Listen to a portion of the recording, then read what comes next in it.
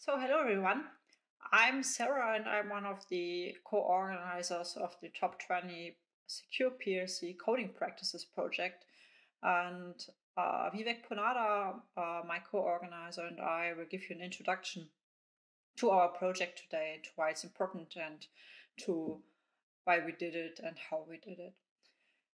Well, the Secure Coding Practices project, project is about writing secure coding practices for PLCs, so for programmable logic logic controllers, and it actually was sparked or inspired by Jake Brodsky, who gave a presentation at S4 in 2020 in Miami. And that presentation was on secure PLC programming, obviously, and on a few hints and tips and tricks how someone who's been working in the field for a lot of years uh, programs a PLC to be more reliable, more um, and, and, and more secure in the end. The video is available on YouTube and it's become uh, a classic by now. And after this talk, um, a couple of people came together and said, well, we need to make something out of it. Because one of Jake's main statements was secure PLC programming, really, no one learns this at school. And what he meant was that the engineers who program PLCs do not learn anything about security at school, first, but then also they don't learn anything about how to securely program a PLC at school.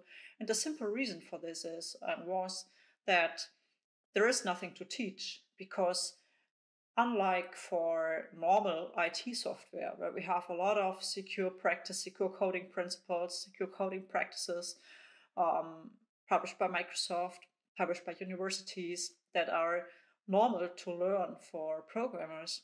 For PLC, there is nothing you could teach. There are no secure PLC program practice, programming practices.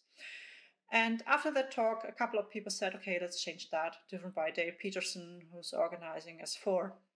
We said, okay, let's create something from a community, from engineers for engineers, um, and let's try to define how to securely program a PLC.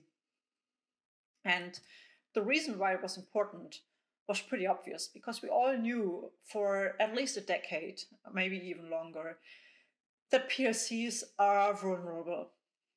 There was a, a project that was called Project Basecamp uh, about a decade ago showing PLC vulnerabilities, and a lot of things have followed for virtually all PLC vendors.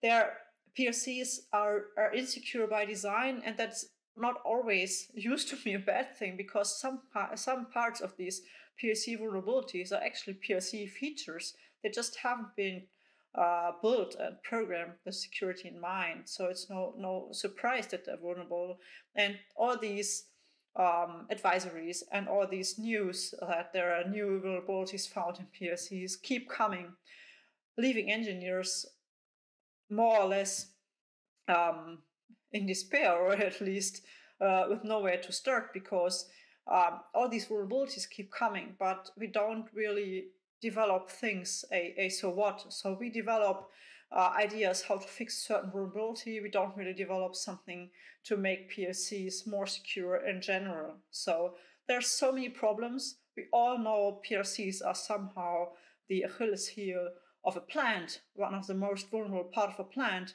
and we don't really have anything in our hands that we can hand over to engineers and say, well, if you do it like this, it even gets it, it gets better. At least it doesn't get worse, and you don't build in all these vulnerabilities.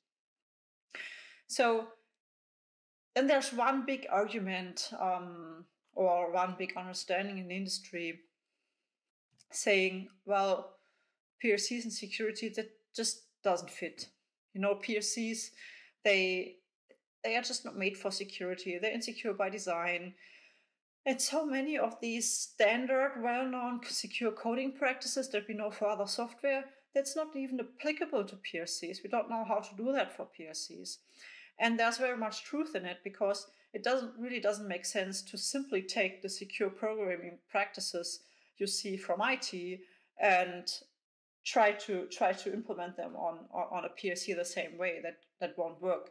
Uh, it's the same way if you able to ask a ask a fish to climb a tree the same way that a monkey does. It's just not made for it. It doesn't make much sense for it to climb a tree at all.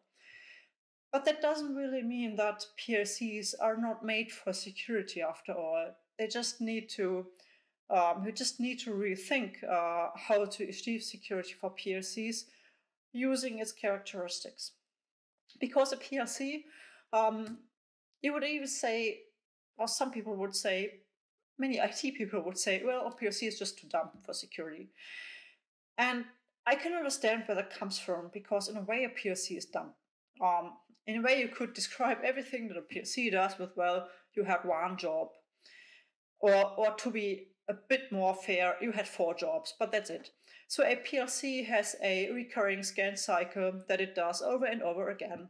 So it reads inputs from a sensor. So in this example here, we've got a fluid level sensor. So it reads where the fluid is, maybe water or oil or anything. And it reads that input from an in, through an input interface, processes it and it's in its CPU and stores it in memory, and then it loads a program from memory and executes the logic it loads, and the logic looks way different than would look in a normal um, computer program. And then it maybe communicates with some kind of external component like an HMI or a programming laptop, and then it writes output. So if the level, uh, the fluid level here is too low, it might say, well, start the pump and pump some fluid in there. And all these four steps, it repeats endlessly. That's the scan cycle, uh, and it does it always the same way and always in the same time, and that's it. So a PLC has certain characteristics. Um, it's a process expert. It really communicates directly to the process, directly with the process. It knows what the process is about. It doesn't have to do a lot of fancy anomaly analysis because uh, its own job, its its very job, and its only job is to know about the process and to keep track of certain process values and keep them keep them on track. Um, and yes, it's true. A PLC mostly has limited resources because it has a very designated task and that doesn't change much, and you don't need all the resources in the world for it. But instead, it's very important that it's reliable so that you know if you if you give it a value and uh, after a certain time there is an output and you you can it can absolutely guarantee that that output comes within a certain time and that that's what we call uh, real it's real time capable so the pump absolutely relies on the PLC giving it the output. It needs to be deterministic. So when, when you put something in, an input in, it always returns the same output. And all IT people know that that's totally not normal in for normal devices and for Ethernet networks. So a PLC really is not dumb. It's just different. It has one job, four jobs, and is really, really well at doing these jobs. And this is the setup that we need to live with and that we need to accept and that we need to look for strength um, that we can use for security benefits. So what we wondered at the beginning of our project was what does it mean, after all, to securely program a PLC? We all know security is important and we all know that PLCs are vulnerable and we want to make them more secure. But what does a securely program, program PLC mean? And what is a secure PLC? So these were the two leading questions um, that we tried to answer um, with the top 20 secure coding practices list, or at least um, we try to give a first basis for discussion for these questions. Um, I give you a short introduction of how this list looks and what, how it's structured and what our assumptions were. And then Vivek will give you a deep dive into a couple of practices to give you a better feeling. So, the top 20 list, if you download it, you can go to the project website. We show that at the end. Um, you can download it for free. It has the most permissive license, so you can virtually do anything with it.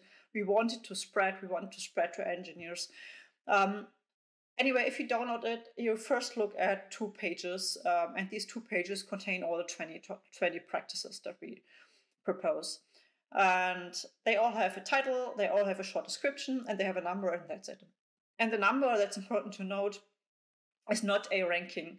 So um, a practice with number one is not more important or um, or anything than a practice with number 20 and then if you keep on reading there's about 40 more pages with details on all the secure coding practices.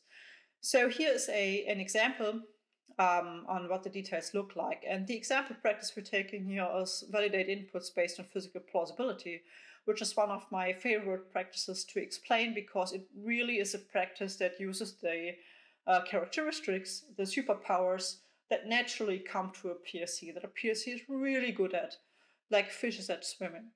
And that's of course because the PLC, as we said, is a process expert. It's really good at knowing what values, what process values are normal and are good and are acceptable.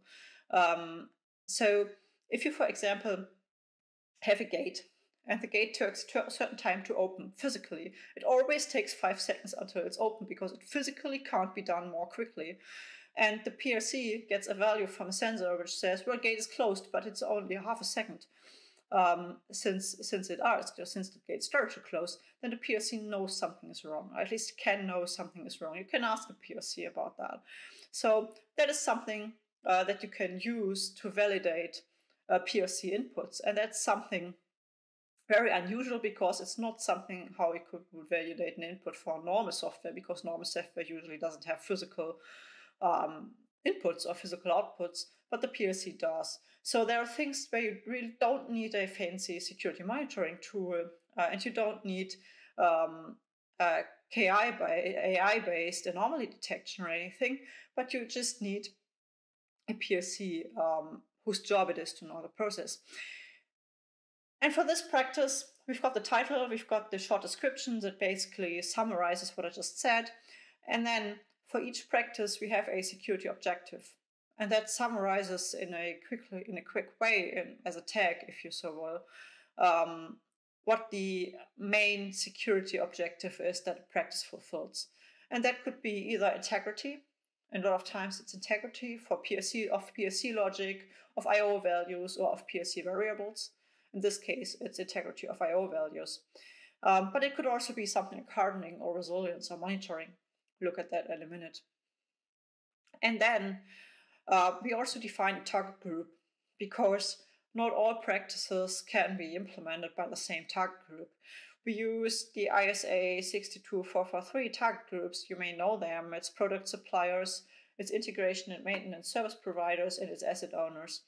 And truth is that a lot of practices, always depending on who programs the PLCs, of course, but a lot of practices cannot really be integrated, be, be implemented by asset owners because a lot of, um, especially low level programming, happens at product suppliers and the integration and maintenance service providers side.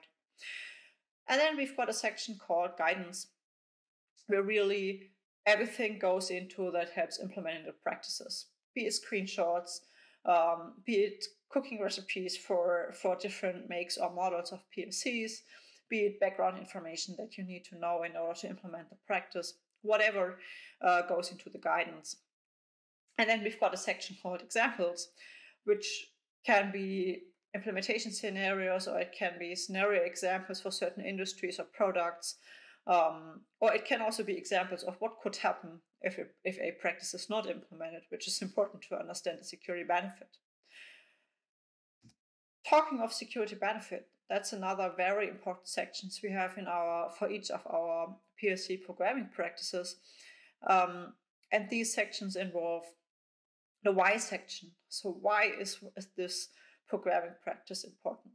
And of course, it's secure PLC programming practices. So it's um, actually uh, all of these practices are beneficial for security, obviously. But then also many of these practices, and that's a very important point to make, um, so that that sink in. A lot of these practices also have benefits for reliability, and they also have have benefits for maintenance, for example. If you take this example here, so um, validating inputs based on physical plausibility, of course that's good because you can validate um, if an attacker has uh, manipulated value, tampered with a sensor or anything. So that's that's that's good. You can give an alert, but you can also use that validation for reliability purposes. So if something doesn't work, if some something may be broken mechanically, um, the same the same um, feature can can give you a hint that something like this is wrong. So that is things where um, that statement that we often read that there's always trade-off between security and comfort, between security and operability, uh, between security and usability, between security and operations. That there's always a trade-off. That's actually not always true, at least for the secure PLC coding practices. That's actually not the case. For every single practice that we have here, we've got not only a security benefit, but also a benefit that falls in the realm of operations. And that's a very important point to make um, because that's often the case in, in OT because um, security uh, with having processes and having PLC characteristics in mind is often about reducing complexity. It's often about better monitoring. It's often about um, better structuring of code. It's often about better documentation. And all these things are actually things that mostly do not stand in the way uh, of usability, like long passwords would do, um, but they really help operations. Last, we also have references. Uh, we have references to existing standards and frameworks, and that could be for two courses. So First, we, we reference attacks or weaknesses or vulnerabilities that a certain practice could prevent. That would be MITRE ATT&CK or MITRE CWE in these cases here. And we could we do we also reference security requirements that the practice uh, under consideration could help to fulfill. Uh, and these are in these cases here ISA 62443 requirements. And that could be extended, of course small look at the security objective. Um, what can we expect from a security program PLC and what can't we expect? Looking at the objectives, um, we see a pretty clear um, structure here. So we see that most of our 20 uh, secure programming practices uh, have integrity benefits. And that is actually not a surprise because what a PLC does is um, making sure that values, process values, I/O values um, stay on track. And the most important thing that you could imagine, the most important threat scenario you could imagine doing to a PLC, of course, is tampering with its integrity. And then um, the other part would be uh, monitoring, because as we said before, a big issue with PLCs and a big benefit of PLCs is um, that they are process experts. They know about the process so much better than all your fancy security tools can learn in a long time. So, for some cases, for some monitoring purposes, PLCs can actually do a kind of work. And also, they can help with resilience and hardening if you have a few practices for these. One very important point to make is uh, securely programming a PLC is most likely not the first step you would take in a security program. It's not the most important. And of course, no, these practices would not have prevented Stuxnet, at least not alone.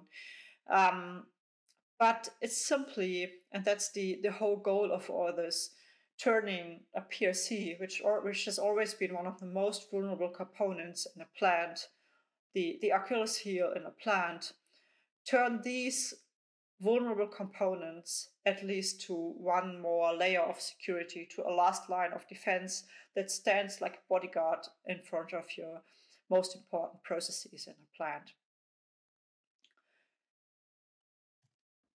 Last two questions uh, that we often hear uh, when we talk about PLC secure coding practices is why is a certain practice not on the list? And the most important answer, the most popular answer, is probably because it's not in scope. because uh, we got a this was a community community project. We had about 900 people registered on a Discourse platform who collaborated on on this and who uh, submitted uh, potential PLC coding practices. And we had to limit the scope at some point. We had to make sure that our top 20 secure PLC coding practices actually kept be coding practices. So we have the scope that's that's lined out here. Uh, everything that's the scope is anything that includes changes to the PLC itself. So this one here. What's not in scope is and that's a potential second scope that we could be doing, um, is top 20 secure PLC environment practices as a working title. So everything that involves architecture, that involves HMI, programming in device, or I/O requirements, or documentation, could be on a second. Second question uh, that we get a lot of times is, why is this practice on the list at all? It's so basic. But there are actually three cases why someone would say it's so basic. First is a security person says that. The PLC support practice is really too basic for security people. Everyone knows about that. But a simple answer why it's on the list anyway is because security people don't program PLCs. It doesn't help if security people know about it. PLC programmers need to know about it, and that's the, the target group of our list. And also, security people may know about this practice, but do they know about how uh, about its implementation on a PLC? The requirement may be basic, but not its implementation. And then we also wanted to do something against the myth that security practices are simple, but PLCs are simply too dumb to implement them.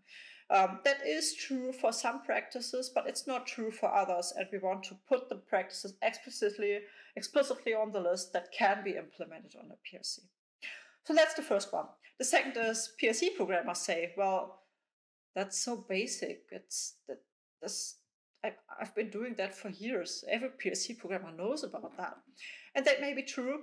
They maybe they, they maybe know that it's a good practice, but they, they may not know it in fact has a security benefit, and then they also should do it because for security reasons. And that becomes important first when you want to talk about what a secure PLC is, of course, but also it becomes important because it adds one more reason why you should do a certain practice. So if you decide not to do it because it's it's just for efficiency reasons and efficiency is not as important, it's important that PLC programmers know that this practice they may be leaving out also has security benefits and they uh, on the other on the other way, way around they also have a security problem if they don't implement them. And then lastly there are practices um, we'll just say well it's it's too basic because everyone knows and everyone has been doing this for years anyway. But if anyone everyone has been doing a certain practice in order to securely program plcs for years I hope we can we can agree that it absolutely belongs on the top 20 secure PLC coding list. So that's why it's on there. And also, there's always rookies. There's always newbies. There's always new people that do not fall under everyone and they don't do not know. And I want to remind you of our true leading questions that I mentioned in the beginning, which were we want to answer, we want to pull up a list which which defines what it means to securely program a PLC. And we want to have a list that answers the questions what, what is a secure PLC. So we want to be basic. Being basic is really one of our list's purposes. So now that we've answered most of your questions, hopefully that arise that could arise while looking at that list, and you have a small have an idea of what it's all about. I'm hope you're ready. I'm hoping you're ready for the deep dive into a couple of questions, uh, practices um, that Vivek will introduce to you now. Vivek, stage is yours. Hey, ICS Village folks at DEF CON. Hope you're all enjoying the conference so far. I'm here with Sarah Fluchs to talk about secure coding practices for PLCs. A little bit about me, Vivek Ponnada. I've 23 plus years experience in industrial control systems. I've been doing ICS OT cybersecurity for the past eight plus years. My background is electronics and communications engineering. I have an MBA in finance and the GICSP cert from SANS. I started off as a controls and instrumentation technician, calibrated valves, transmitters, configuring PLCs. I became a field engineer, commissioned gas turbines and steam turbines, control systems around the world for utilities and oil and gas customers. Then went back to business school, and after that became a sales and business development manager. And currently I serve as a service manager for our Canada fleet, my company, uh, covering all utility and oil and gas customers uh, within Canada. And I've worked in several countries. My contact information is below for LinkedIn and Twitter. All right. Now that Sarah's given you the background, let's take a deep dive into a few practices to learn more. Let's pick something straightforward for our first one. Practice 13 says disable unneeded, unused communication ports and protocols. So the controllers that we are used to generally support multiple communication protocols because they are used in various applications. Now, most of these protocols are unfortunately enabled by default even if you're not using them. As an example, Telnet or FTP, you have to actively go disable them if you're not using them.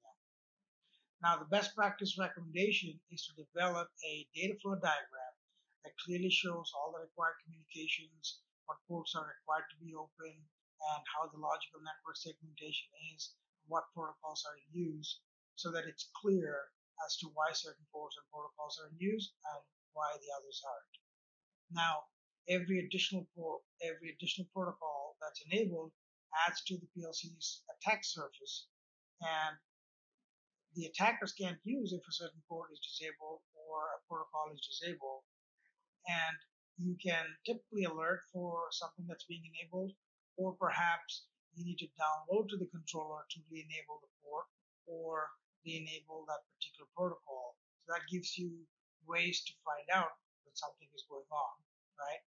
In addition, perhaps you have a network sensor or firewall that can detect if a particular protocol is in use, and if you have previously disabled that, you can get a sensor that way.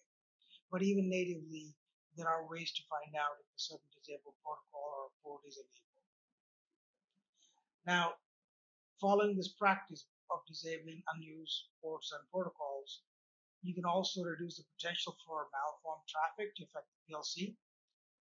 So most PLCs don't really do well when there is a malformed traffic.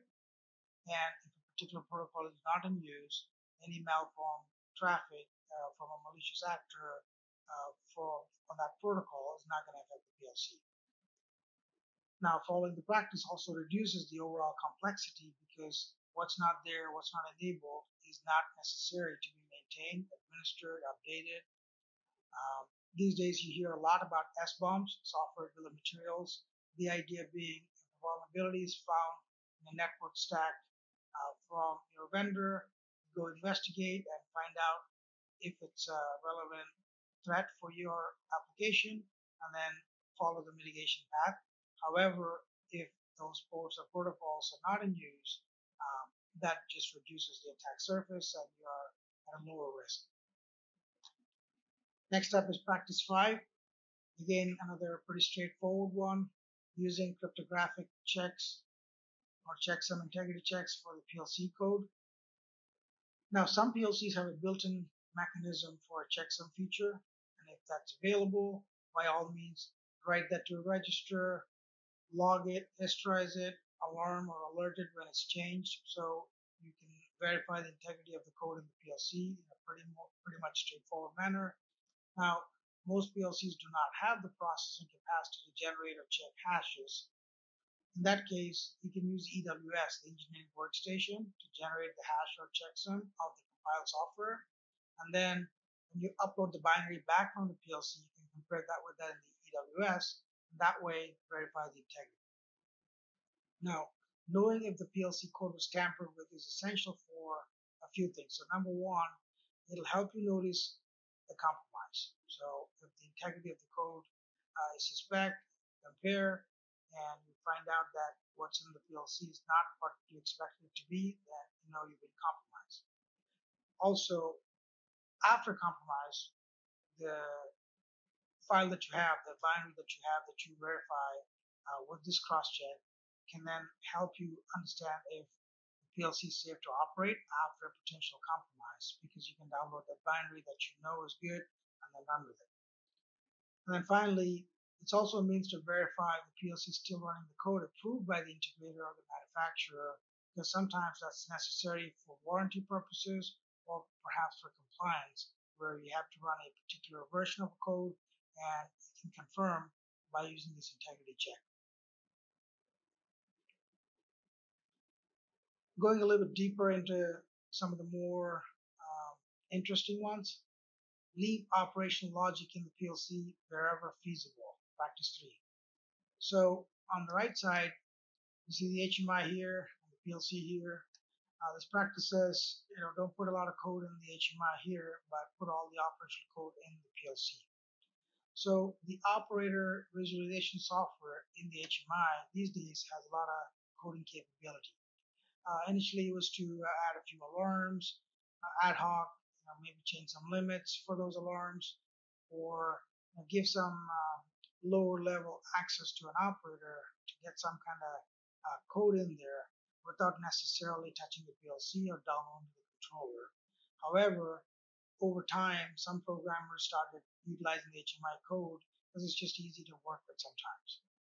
However, calculating values like totalizers, uh, if you do that in the HMI versus doing it in the PLC, uh, it's going to be a lot more accurate in the PLC because uh, the PLC is much closer to the field because the I/O is connected to the PLC. The latency in communication between the HMI and the PLC, that's a big deal because the HMI is typically polling you know, once per second or every other second or as needed. So HMI is not getting enough updates, it's not in a good position to do a totalizer or a timer uh, based on you know what the PLC can do versus the HMI. And then the HMI uh, usually uh, rebooting an HMI shouldn't cause any process uh, upset, shouldn't affect the PLC operation. However, if you use the HMI for these data or updates or values or totalizers, then that's a problem because if you reboot the HMI, those get reset. Similarly, uh, if you're doing the Windows patch or if you're taking a backup, you know, that periods of availability or unavailability of the HMI uh, might affect those values which you do not want. So anything safety or protection related is better off being handled by the PLC. As an example, enable or disable actions. I've seen where operator clicks on an enable button and that click is shown visualized to the operator as if the action is being performed and then the command is sent to the PLC. However, what if the PLC cannot execute that command? What if the PLC has some force items that is stopping it from executing it. Those are not visible to the operator because this code is in the HMI. Similarly, uh, if you have a time delay uh, for a motor restart and if you put that in the HMI code, what if because of comms issues or any other problems, uh, the HMI cannot calculate the timer properly, then it's not a safe situation for the motor to restart or not to start when you want it to. Uh, force signals, they're typically visible only in the PLC and not in the HMI, so you can't really put some safeguards in the HMI code as much as you can in the PLC. Similarly, inconsistent visualization or status when the HMI values are not propagated back to the PLC. So if you configure something new, some new points, some new alarms, but they're not represented in the PLC, then you have some inconsistency and also the PLC doesn't know that these other things exist. And then finally, consistency in code maintenance, audit, and change management. Because you split the code into two different places, these become difficult. Furthermore, if you unify your code in the PLC, you're reducing the attack surface. You all can imagine more scenarios where the HMI is uh, open to more public facing, maybe the internet, and someone is able to access and move the mouse around. We've seen that, uh, for example, in the Florida um, water situation, where you know, they were able to even enter some values um, much higher than what the uh, what the water should contain. Uh, those kind of attack scenarios you all can imagine in the HMI level. However, if the code is in the PLC, then there's a lot less risk because uh, the threat actor needs to be a lot more sophisticated and a lot more focused on uh, proceeding with the attack versus randomly moving the mouse around and uh, enabling, disabling anything that they can see. Next up is uh, practice 11, which is instrument for plausibility checks. Now, I've given an example here uh, for you all to kind of imagine some of the uh, examples I'm going to talk about. We have a couple of tanks, some pumps, and some instruments here. So this practice is about comparing integrated and time-independent measurements to confirm if the measurement that you're seeing is accurate. For example, a meter pump and tank level, the volumetric change in the tank should equal or be proportional to the integrated flow. Um, if it's not, then you raise an alert. Similarly, burner in a boiler, the added caloric heat uh, from the fuel should equal or be proportional to the temperature increase, and if it's not, you raise an alert. The idea being compare different measurement sources. So measuring, for example, the same phenomenon in different ways. Another example, uh, compressor stall is typically uh, visualized by a reversal of flow. However, it will also have increased vibration. So those two are measuring the same phenomenon in different ways. And also, not necessarily different sensors, but maybe the same value coming from two different communication channels. Maybe that PLC has a backplane communication and a Modbus out to the DCS, and then also 40, 20 milliamps to uh, the DCS or some other equipment where you can compare. And if it so happens that whoever has manipulated one did not manipulate the other, you will get an alert that something is wrong. So the idea behind this practice is to facilitate monitoring for manipulated values as long as not all sensors are manipulated at the same time. Just another level, another layer of protection uh, in a PLC where none existed before. Now, it also prevents acceptance or identifies wrong measurements like we talked about before. Uh, if the tank level suddenly shows much higher than what it should be in correlation with the volumetric or the, uh, or the flow coming from the flow meter, then you can identify that some measurement is wrong.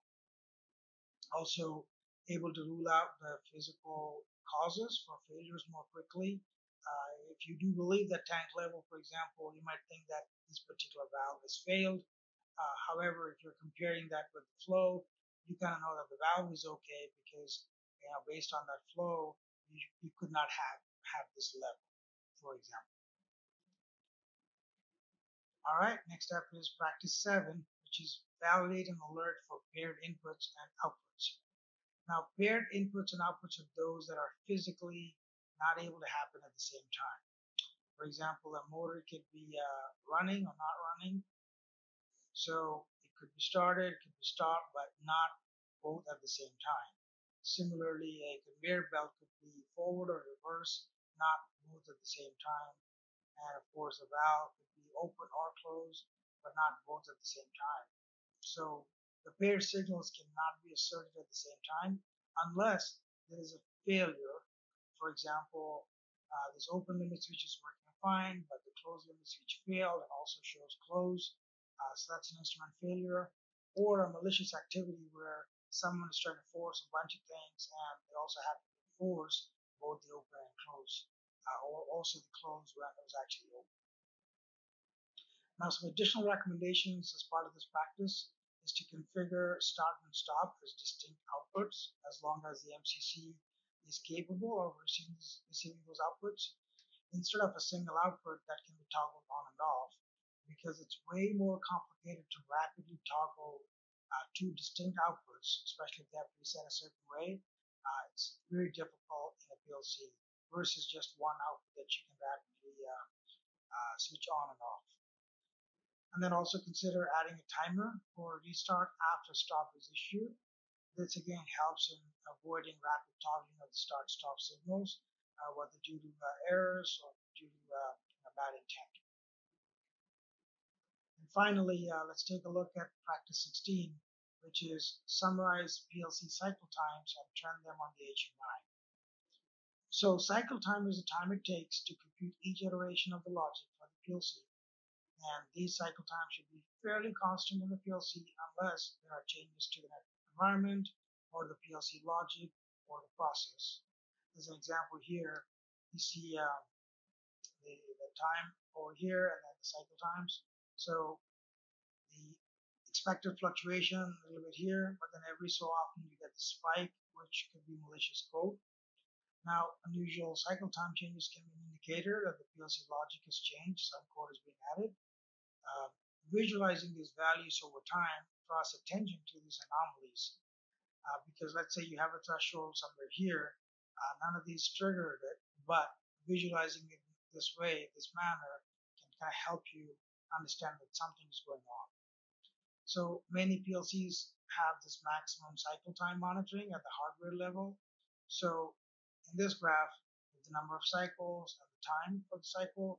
So if it exceeds a maximum value, usually the CPU issues a stop. So at this Tmax, this number five, uh, the CPU would stop. So attackers would know this, so they typically don't add code that much. They typically keep the code lean so that you never reach that threshold. However, if you happen to create these boundaries, have these acceptable thresholds, so one and three would be okay, but anything above would be alerted. Uh, this would be based on the application, the process engineer's understanding of the process, and the PLC controls engineer working with the process engineer to define these thresholds. But the idea being about these thresholds, uh, if you have some uh, alerts, then if and when some malicious traffic or malicious code has been added and PLC uh, cycle time is higher than what it should be, you get an alert. All right, now I hand it over to Sarah to talk further about what the expectations are on the project. So yeah, that's me again, and actually, um, my last words are about the outlook. What what do we have to what, what do we do we do with this project in the future? Because obviously we're not done yet. Uh, we've worked on this for about a year. Um, we put our first document out, and we don't have got a lot of things that we that we need to do. And the important thing to know is there's a core team um, that meets every couple of weeks, um, and that has a few things on its to-do list. So one is we are thinking about doing top 20 secure PLC environment practices, for example. We're thinking about building a playground, so building virtual PLCs where you can try out uh, practices virtually, where, where there are demonstrators that you could download or try out online. Um, of course, we're thinking about uh, improving the practices, uh, publishing a version 2.0 based on comments that come in. If you go to our website, that I'll show you in a minute, you can download a comment form and leave us any comment you want, and they're really all welcome. Um, and we want to improve these practices. Um, comments can be this practice doesn't make sense. It can be I implemented this and this could be a good example. It can be I don't understand this. Uh, we could explain that better this way. Or it can be I've got a completely new practice that needs to be on that list and that I want to propose. We've got a template for that.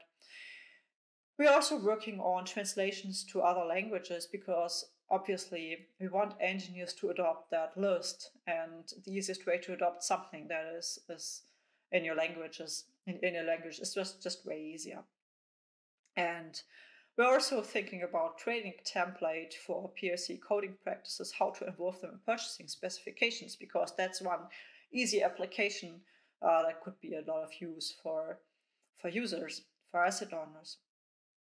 And that's the core team. We've got commenters, so I said that before. Uh, everyone is, is, is really invited to comment. It's not a lot of work, and we're looking forward to, to talking about your comments. Um, we've got supporters who build trainings, uh, who write articles and podcasts, and uh, we're, we're thinking about collaborations, which is a, an important part. So we are collaborating with MITRE CWE in order to maybe um, put a module for PLCs in CWE because it doesn't have something like this not, uh, yet. Um, but we really, really, really, and that's one of the most important points that I want to make in the end. We, we want to get this list seen by engineers, used by engineers, trained for by engineers. We want to get this list out there. Um, and we're really looking into uh, how to best reach engineers because security bubble knows about this but we need engineers to know about this uh, so we're looking for engineers associations we're really interested in what plc vendors says say we're really interested into plc user groups um, if you have contact in there contact us we can get these slides there we can get a presentation organized we can get trainings organized we can we can get you in there uh, we collaborate with you in order to bring these knowledge into your communities locally, regionally. We have people all around the world in the project that are happy to do that. And lastly, what's very important, important in this slide is the green bubbles. So this is not a closed club, it's a community project, and we really want and need everyone who's interested uh, and passionate about making PLCs more secure. You don't have to be a, PLC programmer, you don't have to be a security expert. Uh, if you're passionate enough, you can totally um, use your knowledge and, and your, your engagement. And it really, in each of these groups, there's a lot of, a lot of space for, for taking up new people, and we welcome you with open arms. Lastly, here's the project website, and here's our, our all our contact details. If you want to uh, contribute, if you want to be part of any of the teams, of the core team, shoot an email to plcsecurity at admeritia.de. Uh, we've got a Twitter account you can follow. Uh, both Vivek and I are on Twitter and on LinkedIn. Um, and there's also um, a co- the comment form on that website here you can download and send to that email address. Um, we would be very, very happy to hear from you. I hope you learned something about secure PLCs today, and I hope you continue enjoying DEF CON. Thank you.